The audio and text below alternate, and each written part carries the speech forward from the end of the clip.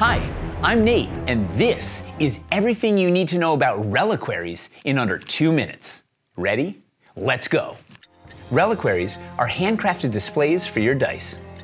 You can use them for rolling at the game table, for analog tracking of your character abilities, to display your favorite dice or other mementos at home, for tracking your life count and commander tax, as objectives on your battlefield, or to accessorize any terrain build.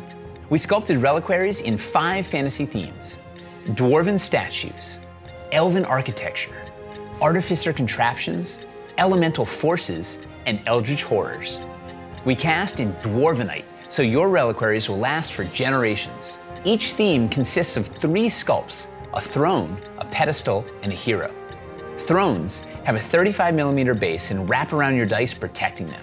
Pedestals have a 35 millimeter base and lift your dice, presenting them. And heroes are the largest reliquaries with a 50 millimeter base. They're designed to showcase your die with integrated LEDs for extra flair. We've designed swappable dice holders so each reliquary can display a huge variety of different dice. And our friends at Die Hard Dice are making custom dice sets paired with each theme. We also have a special reliquary, the Ability Tracker, designed for counting PC abilities such as Rage or Wild Shape, for tracking spell slots, or even tracking hit points.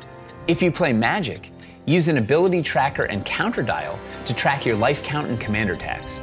We have two different charging bases, the Hero Charger and the Hardwood Display Base.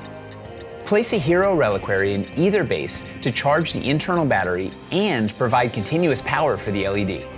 The hardwood display base has slots for seven reliquaries, perfect for holding a full polyhedral set. It's available in plain wood or laser engraved with any of our unlocked designs.